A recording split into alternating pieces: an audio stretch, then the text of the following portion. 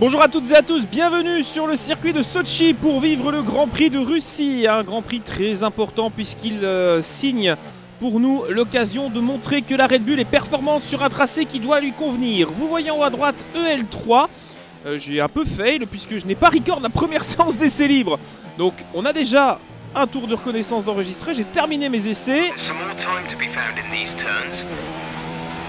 Ok, merci Jeff. Et euh, du coup voilà, pour représenter un peu ce week-end, on a une petite amélioration qui est instaurée.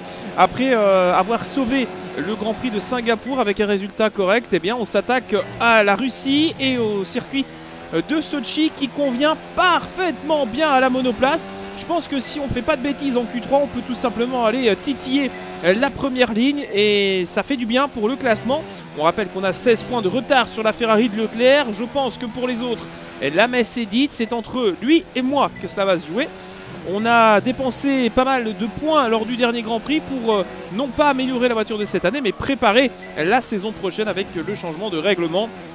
J'avais perdu aussi une bonne, euh, plusieurs centaines de points hein, puisque je n'avais pas participé au Q1, Q2 et Q3 éventuellement lors euh, du Grand Prix précédent. Donc euh, pour ce meeting, j'ai bien l'intention de ramener un maximum de points. On a complété tous nos programmes de R&D euh, du vendredi EL1 et EL2. Donc là, je vais tout de suite enchaîner avec vous une fois à la fin de ce tour sur le L3. Alors il y a eu pas mal de modifications sur le setup, notamment au niveau du freinage. J'avais un peu peur que la voiture n'ait pas une bonne balance avec des pneus usés, notamment dans ce secteur-ci qui est assez euh, euh, délicat avec euh, des faux dévers. Ici, regardez la chicane avec la remontée, c'est pas toujours très simple.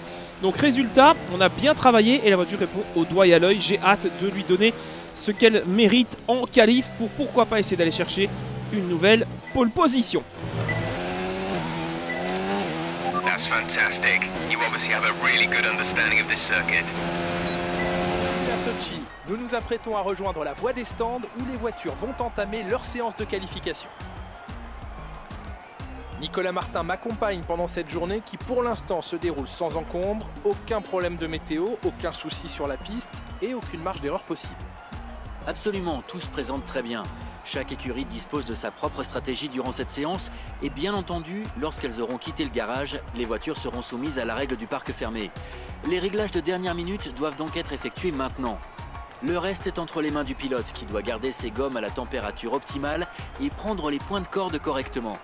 Bien entendu, le ravitaillement en course n'est plus d'actualité. Cela faisait un sacré bout de temps qu'on n'avait pas vu des voitures aussi rapides. Et c'est pendant les qualifications qu'elles atteignent leur vitesse maximale. C'est parti Allez, c'est parti pour euh, la Q1.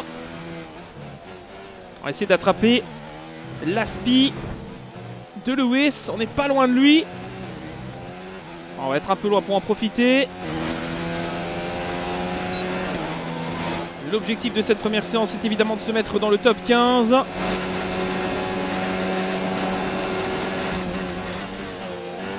Et peut-être déjà de faire peur à Ferrari.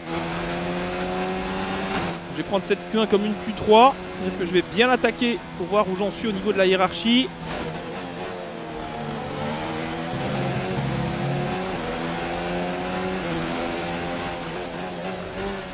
Pas besoin d'être euh, tiré, tracté par la speed Hamilton en Q1. C'est pas important, mais euh, ça peut aider à se mettre devant la Scuderia. Et Leclerc, justement, inscrit le premier temps de référence de cette séance. Il est sorti tôt Leclerc, c'est peut-être un signe de manque de confiance de la part de la Scuderia. Là par contre, on aura peut-être un peu d'aspiration de la part d'Hamilton. Même si je le rappelle, c'est pour euh, le bluff.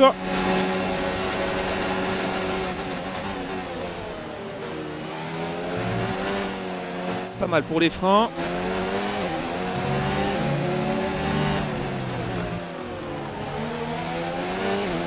Imaginez si je suis derrière Hamilton comme ça en Q3 pour le lancement du tour avec l'Aspi et le DRS, ça peut être pas mal. Là, il va plus nous gêner qu'autre chose.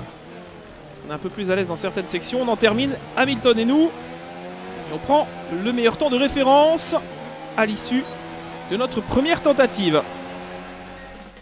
Notre meilleur temps n'aura pas suffi à aller chercher Charles Leclerc qui est pour l'instant à peu près un dixième de seconde plus rapide sur les mêmes gommes. Derrière Hamilton complète le top 5 devant Vettel qui lui est en médium. Intéressant. Les Williams de Kubica et George Russell accèdent à la Q2 comme les Haas de Gasly et Magnussen. On va évidemment perdre les deux McLaren et surtout Hülkenberg et Perez qui n'ont pas signé de temps. Raikkonen est donc dehors en compagnie de Norris et de Sainz. Eh bien, en tant que bon soldat, les Toro Rosso vont nous aider peut-être à passer en Q3. On va être derrière euh, l'une des monoplaces de Faenza. Et on s'élance. Là, le taux va être important.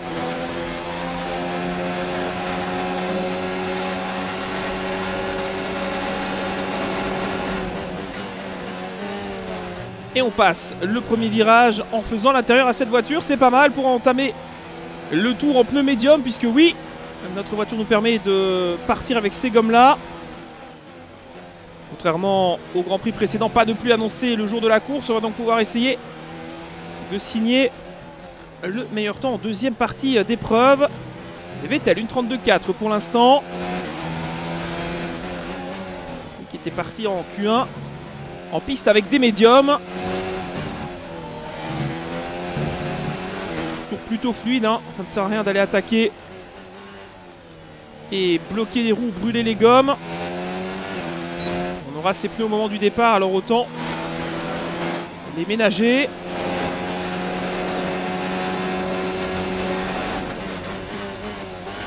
Et on est plus rapide que Sébastien Vettel de 6 dixièmes pour l'instant. Même si ce n'est pas lui la menace, c'est déjà pas mal. C'est une Ferrari. Et on est en médium alors que lui est en plus tendre. Qu'elle marche aussi bien que ça cette Red Bull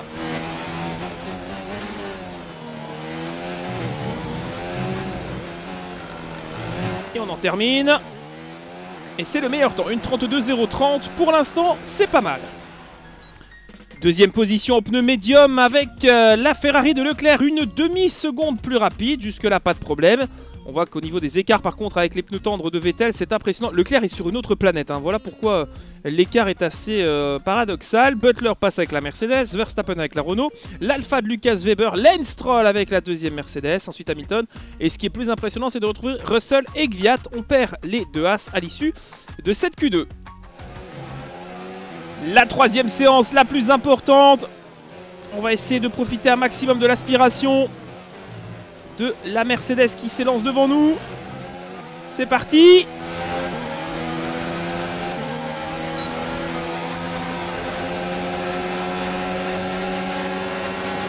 Le DRS sur Stroll.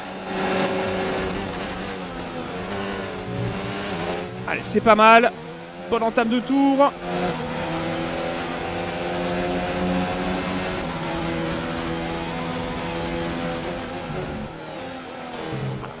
Un petit peu tôt dans le droit.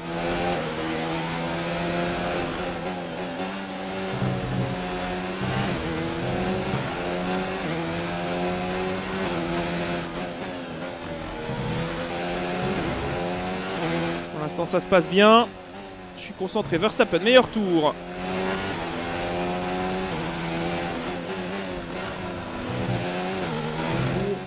Le néerlandais. DRS ouvert dans la grande ligne droite.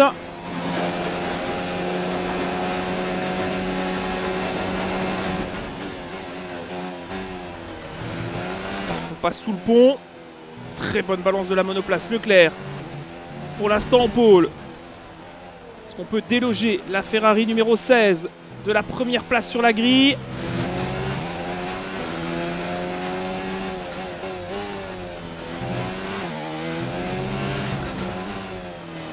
Dernier droit. Et oui, on est en pôle. Une 35 199. Ah, c'est un très beau tour auquel euh, on vient de s'adonner en espérant que ça suffise à partir devant les rouges. Bienvenue à tous au Grand Prix de Russie. Nous sommes à deux pas de la frontière géorgienne, ici à Sochi, où nous nous préparons pour ce Grand Prix qui nous avait réservé une incroyable surprise en 2015. Une collision polémique dans le dernier tour entre les Finlandais Kimi Raikkonen et Valtteri Bottas. Espérons que la course sera aussi serrée aujourd'hui. Bâti sur les rives de la mer Noire, l'autodrome de Sochi vous offre sur 5 km 8 un aperçu des infrastructures des Jeux Olympiques d'hiver de 2014. Les rails en bord de piste rendent les dépassements risqués, mais avec 56% du tour à pleine charge, nous devrions avoir notre compte de vitesse pure pour aujourd'hui.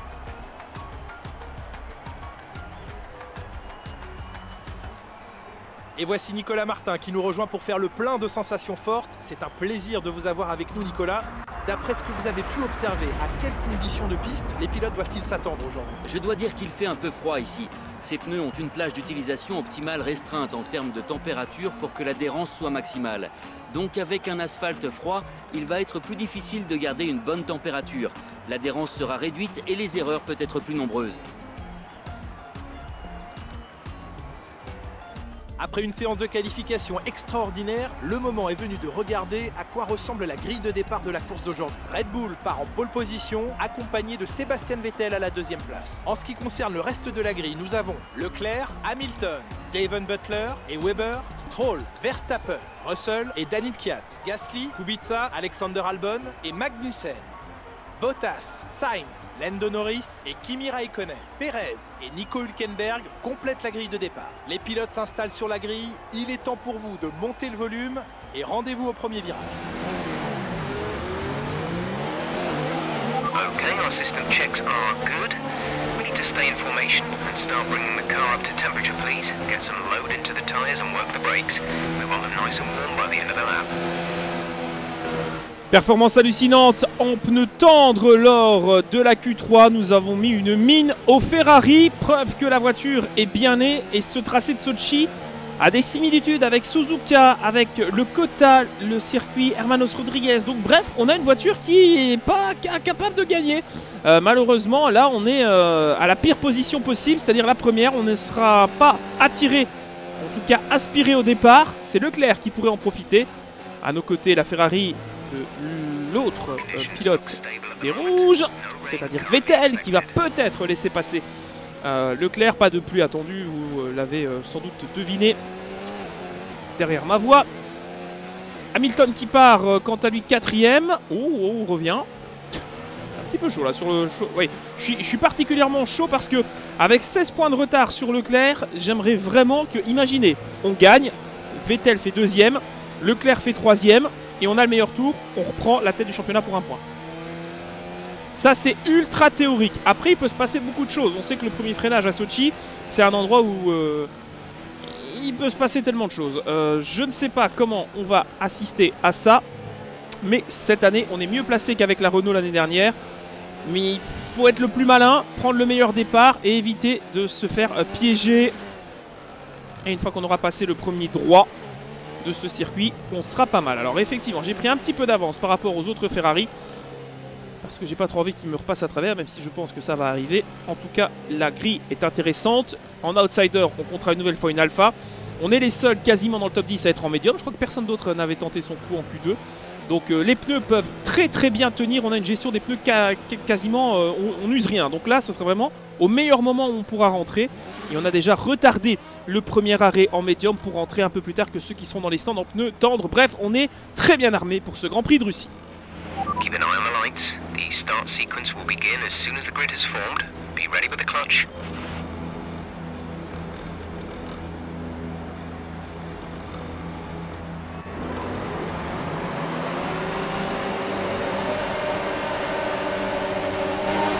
Début des hostilités à Sochi, c'est parti, on roule en Russie.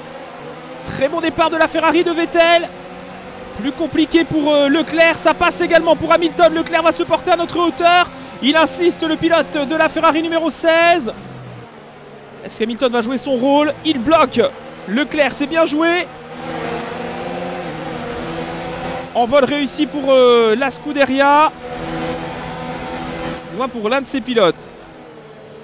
Les deux Red Bull suivent. Ensuite Leclerc, quatrième.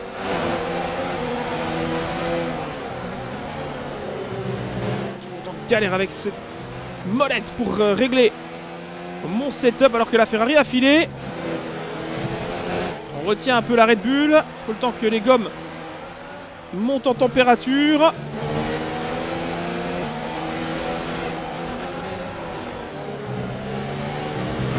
Troisième tour de course, on aura évidemment le DRS. Pour l'instant, Vettel ne s'échappe pas plus que ça.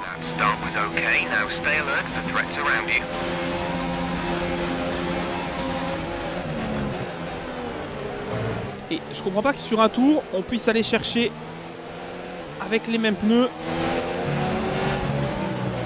la Ferrari alors qu'en course, là évidemment on a des médiums, ils ont des tendres, hein, donc il y a une grosse différence. Mais euh, Leclerc et, et Vettel sont toujours mieux en pneus. Hop, attention là, la fin de ce premier tour un peu délicate pour nous, on n'a pas le grip. hein. J'ai beaucoup de mal à trouver la motricité. Pas de DRS pour l'instant. Vettel, meilleur tour logiquement pour le leader. On va pas s'en tracasser. En vitesse de pointe, Lewis revient pas mal.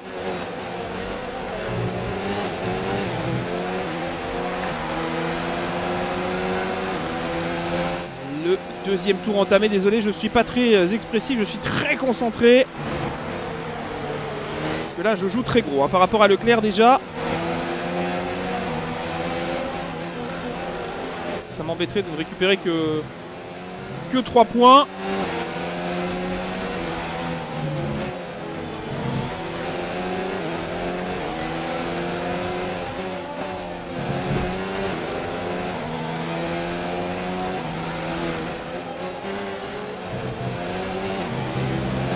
Cravache pour rester au contact de Vettel. J'aimerais vraiment le DRS. Ce qui veut dire qu'en vitesse de pointe, on pourrait euh, jouer avec euh, la Ferrari. Derrière, c'est chaud. Que ce soit pour euh, Hamilton ou Leclerc. Pour l'instant, mon meilleur allié, c'est mon équipier. Et vous voyez qu'avec le DRS, on fait rapidement le meilleur deuxième partiel. Je me suis totalement loupé dans la chicane.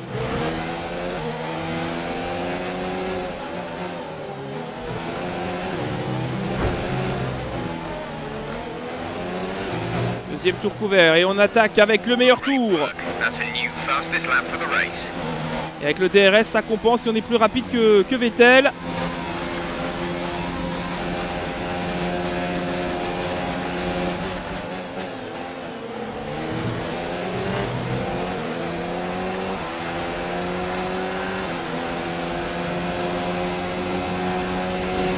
Hamilton qui joue vraiment le mur. Il remplit parfaitement son rôle parce qu'il retient Leclerc. Je pense qu'avec la deuxième Ferrari derrière nous,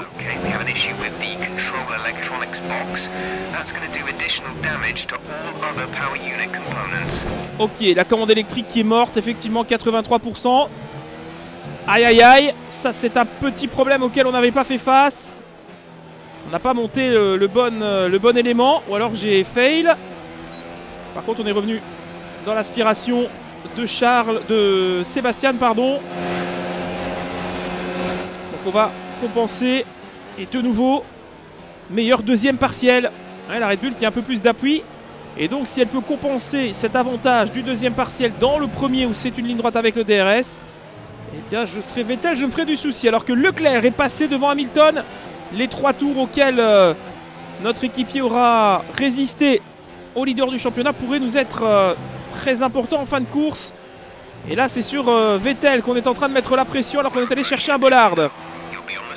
Et on est plus rapide. By 2.0 seconds. On est plus rapide en médium que la Ferrari, tout simplement parce qu'on a les deux DRS et qu'en vitesse de pointe, ça fait la différence. Pas une grosse non plus, puisqu'on le voit. Vettel sans le DRS n'était pas forcément en mesure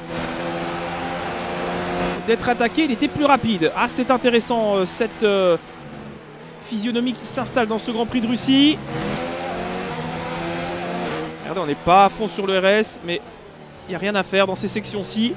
La Ferrari est plus en délicatesse. Le ciel devrait euh, se dégager aussi. Pour l'instant, il fait un peu plus frais.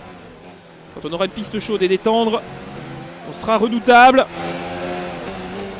Et le fait qu'on puisse suivre les Ferrari avec ces pneus-là montre à quel point les pneus n'ont pas vraiment de différence. Je pouvais faire euh, quasiment 12 tours avec euh, ces pneus médiums avant d'être en dessous euh, de la fenêtre de fonctionnement. C'était particulièrement appréciable. Est-ce qu'on va faire le hat-trick dans ce Grand Prix de Russie On pense évidemment après la pole au meilleur tour en course. Pour l'instant, c'est bon, mais il faut encore gagner cette épreuve. Hop là, ce qui n'est pas fait.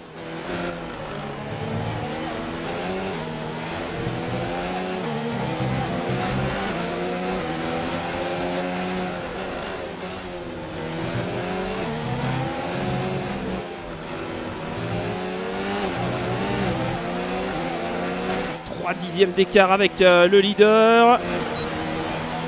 DRS ouvert, Leclerc qui n'arrive pas à s'extraire non plus d'Hamilton. Les deux Ferrari sous la pression des deux Red Bull. Et on entend que ça grésille hein, dans l'arrière de la voiture. Ça n'a pas l'air exceptionnel à ce qui se passe. Du côté euh, de l'électronique. J'espère qu'on va pas perdre euh, la voiture avant la fin de la course.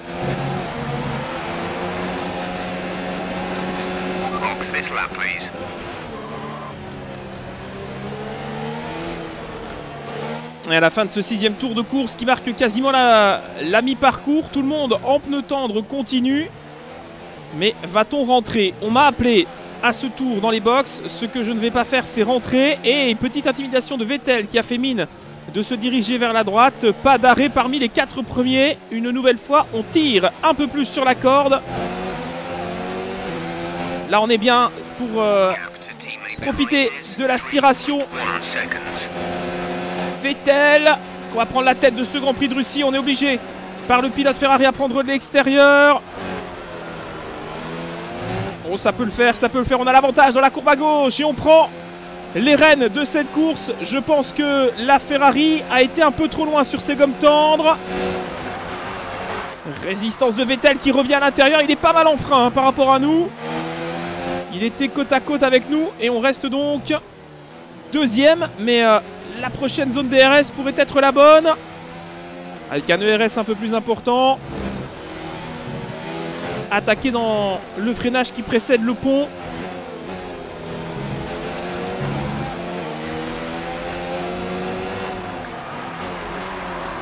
Hamilton entendre va sans doute rentrer à l'issue de cette septième boucle. Nous on va tirer un tour en plus pour ne pas le gêner dans sa lutte avec les Ferrari.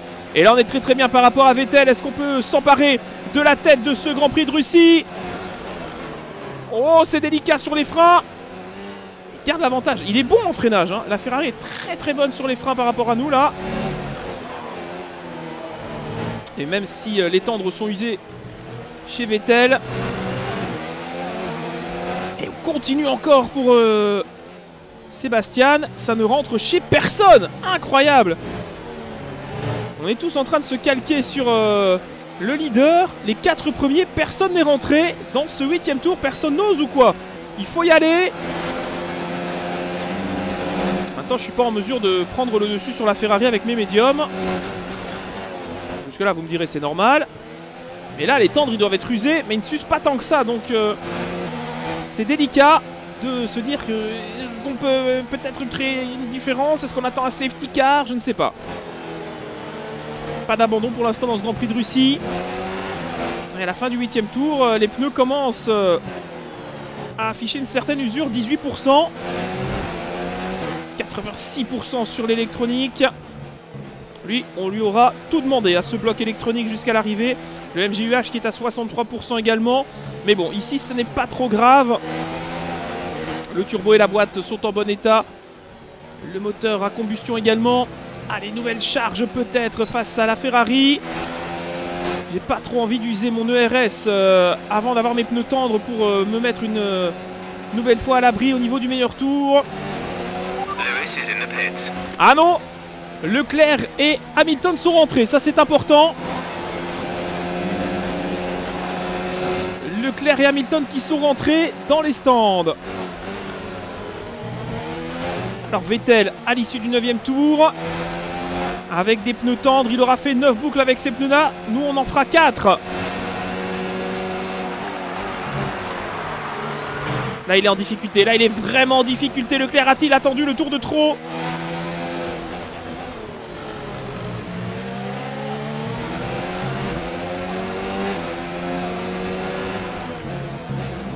Ouais, Leclerc qui n'est plus du tout sur la bonne trajectoire.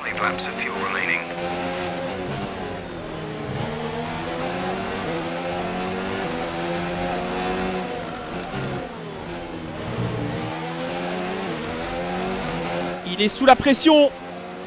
Sébastien Vettel qui va nous céder la tête de ce Grand Prix de Russie, je pense. Il nous emmène très très loin par rapport au mur. Il nous facilite pas la tâche. Oh, il insiste encore ici. Et on est passé, ça y est. Okay, we can take you this lap. Hamilton ayant fait son arrêt, on est donc désormais libre de rentrer, monter des pneus tendres. Et Vettel va faire de même. Attention, ici ce n'est pas 80, mais 60 km/h. Alors, d'autres voitures vont-elles s'arrêter dans ce neuvième tour? Les Ferrari vont avoir toutes les deux ravitaillées. Concours de mécano. Et on repart devant Vettel. Et on rentre chez Alfa Romeo pour accueillir euh, Lucas Weber. Alors maintenant, c'est là que tout va se jouer pour nous.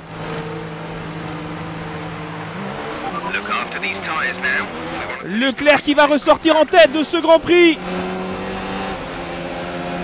Ça va être chaud avec la Ferrari de Leclerc. Est-ce qu'il va être devant? Et Ferrari qui a bien joué le swap. Oh, il se remet sous notre nez. Ça, c'est chaud ce que vient de faire Leclerc. Changement de ligne au freinage. Oui, on joue le titre avec euh, panache chez les rouges. Et on sent qu'il est en difficulté. Il est en difficulté, Leclerc, et il va nous laisser peut-être passer. C'est fait. On est plus vite. Il n'applique pas. La Ferrari est désormais deuxième. Désormais, Leclerc va avoir le DRS. C'est là que ça va être chaud pour nous de tenir. Mais les pneus tendres pourraient nous aider.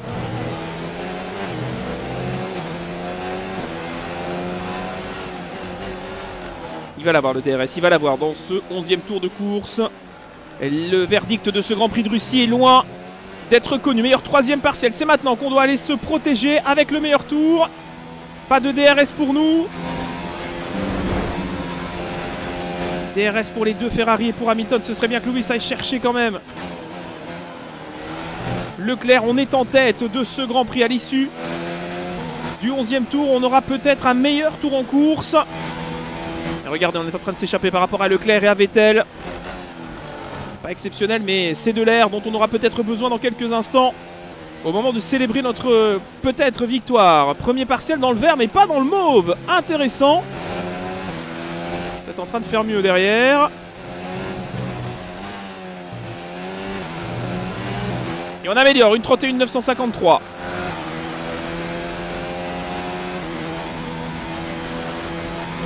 Une 31 9. Et donc on reprend techniquement 8 points à Charles Leclerc. Ce serait bien que dans le dernier tour on ait une petite attaque là quand même hein, de la part de l'un ou de l'autre, histoire de faire perdre l'une ou l'autre position. Je sais qu'Hamilton donne tout là, hein, parce que là, les Ferrari et les Red Bull sont sur une euh, catégorie de rythme totalement différente. Regardez du reste du peloton, on a juste les quatre voitures dans la minimap. Après on retrouve une Renault, une Racing Point et une Mercedes, sans doute Verstappen, Bottas et euh, Butler. Et ensuite Lucas Weber. Toujours très intéressant les stratégies de l'Alfa Romeo. Et je crois une Williams. Une partielle moins rapide forcément parce qu'on est à l'économie au niveau, voilà, au niveau du, carburant.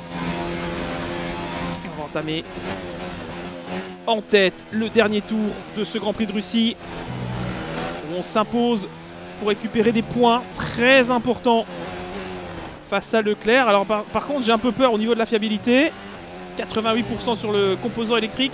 On a été jusqu'au bout. Là les fils ils ont été euh, vissés, dévissés, ressoudés, euh, remis à l'étain. Enfin c'est vraiment euh, du chipotage de garagiste. Mais ça suffira peut-être. Allez Louis, faut aller nous chercher. Peut-être une Ferrari ou deux. Ou alors que Vettel aille euh, titiller Leclerc. J'aimerais bien 5 dixièmes, c'est faisable. Oh là là, ça va être chaud. Entre les rouges et pas de changement. Oh, si Vettel passe Leclerc. Déjà, ce serait débile pour Ferrari, mais ce serait un, bond encore pour nous. Et ensuite, le prochain arrêt, eh bien, ce sera à la maison. Le mythique circuit en 8 de Suzuka. On aura de nouveau un casque spécial blanc, magnifique. Avoir vu des photos. Okay, we're reaching a danger point with the wear on the MGU-H. Overheating the engine will exacerbate the issue, so keep the temps under control. On demande de gérer la température. Écoutez, on va ramener la voiture euh, comme on peut, mais on l'entend hein, quand on est en, et en roue libre, en tout cas en frein moteur. Le moteur craque beaucoup plus, et vous l'entendez hein, dans le fond, grelottement de, de moteur. Et donc Suzuka, on espère euh, eh bien de nouveau porter fièrement le moteur Honda à la victoire comme on va le faire maintenant ici à Sochi. On va s'imposer dans ce Grand Prix de Russie, mené parfaitement grâce aux pneumatiques et au reste. Voilà, c'est fait, victoire Great drive. We did it. Good job.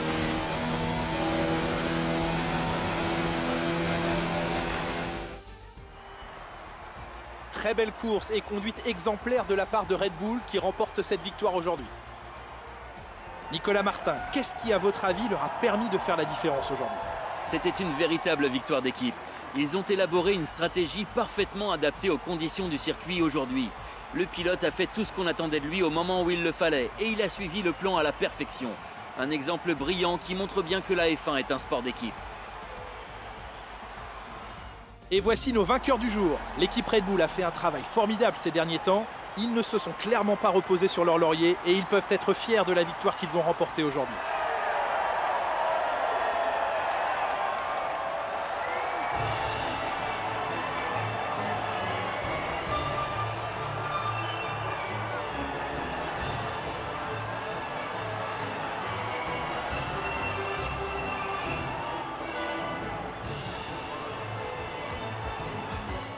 Les résultats du Grand Prix de Russie, victoire devant les deux Ferrari avec 3 et 4 secondes d'avance. C'était chaud entre Vettel et Hamilton. Pas d'abandon pour cette épreuve. Grosse remontée de Valtteri Bottas, 6ème, ainsi que de Sergio Perez, parti avant-dernier. Le pilote euh, mexicain signe le point de la dixième position derrière euh, deux pilotes qui continuent hein, euh, d'impressionner. Ne m'étonnerait pas que ces deux-là l'année prochaine aillent rouler dans une plus grosse équipe. En tout cas, Lucas Weber et George Russell mettent encore des points pour leur structure. Au niveau du classement, on revient donc à 8 petites unités euh, Leclerc. On rappelle qu'une victoire devant Leclerc avec le meilleur tour, c'est 8 points. Donc c'est chaud, c'est chaud, c'est chaud. Derrière, je crois pas de changement. Si euh, Robert Kubica qui passe devant euh, Daniel euh, Gviat, les classements constructeurs ne bougent pas non plus. 78 points de retard par rapport à la Scuderia Ferrari. Renault 3ème devant Racing Point avec seulement 60 points d'écart. C'est pas, pas énorme entre ces deux-là. Ça peut encore bouger, surtout si Renault continue d'avoir des soucis de euh, fiabilité. Alors, nous avons pu signer un nouveau contrat, nous avons toujours les R&D simultanés dans le même domaine, ainsi que l'amélioration d'une semaine en moins. La seule chose que j'ai sacrifiée, c'est la performance au stand et le nombre de semaines nécessaires. Je suis passé au niveau 2. Euh, je dois toujours faire de bons résultats en qualification et en course, mais je suis premier pilote, pilote pardon, avec des défis difficiles pour amener un maximum de points d'ici la fin de saison. Alors, on a 2000 points. Euh, et bien, on va tout simplement travailler sur ces améliorations-ci. Voilà, ça c'est important. Travailler tout de suite pour la suite de la saison et user un maximum d'unités. Comme ça, on en a terminé. 233 points. Donc là, on a bien travaillé au niveau moteur. Qu'est-ce que ça donne ici? 215 points. 236. Ah, c'est con, il nous en manque 3. 279. Bah, écoutez, on va commencer par là en remettant en conformité certaines pièces. Donc, on a quasiment fini pour l'année prochaine au niveau moteur. Donc, ça, c'était bien important de terminer ce Grand Prix-ci avec ces performances-là. Si, si on regarde actuellement l'évolution par rapport à Ferrari, on est euh, quasiment au même niveau hein, que euh, au, au niveau de Singapour. Donc on va voir euh, pour le Grand Prix de Suzuka, mais je pense qu'à partir de Suzuka, sachant que les développements prennent pardon, 3 à 4 semaines, on va essayer d'avoir encore une grosse amélioration dans au moins le domaine châssis, voire le moteur pour les États-Unis et le Brésil, histoire d'être vraiment à fond jusque le Grand Prix d'Abu Dhabi et on aura récupéré toutes nos améliorations pour la saison prochaine. Bref, on pourrait être déjà très menaçant euh, pour euh, Melbourne l'an prochain avec la Red. Bref, On termine ici ce très beau Grand Prix de Russie qu'on aura mené assez facilement. C'est c'est un soulagement d'avoir parfois de très bonnes performances de la part de la monoplace. On se donne rendez-vous ensemble pour vivre le Grand Prix du Japon à la maison pour Honda. On espère leur ramener un très beau résultat. Merci à tous et rendez-vous très vite pour le prochain Grand Prix. À la prochaine. Salut